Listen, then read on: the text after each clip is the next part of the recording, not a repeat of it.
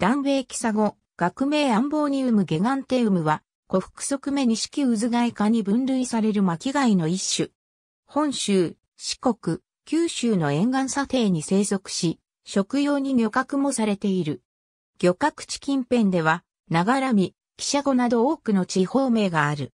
生害は空幅 40mm ほどでキサゴより大きく、日本産キサゴ類では最大種である。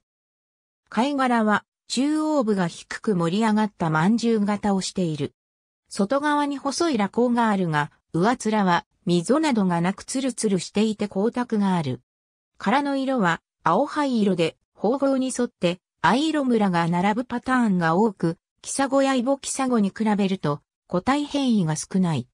確定には他のキサゴ類と同様に活層が広がるが、キサゴやイボキサゴは赤い部分が多いのに対し、本種では灰色や白の部分が多い。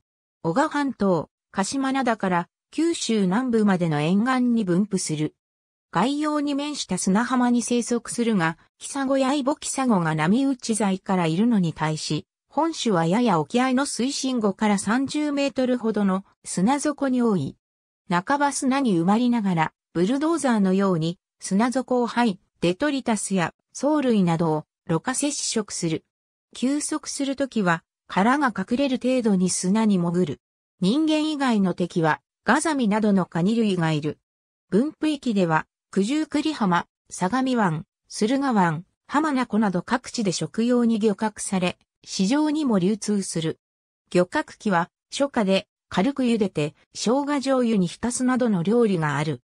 趣向や副菜などに用いられる。ありがとうございます。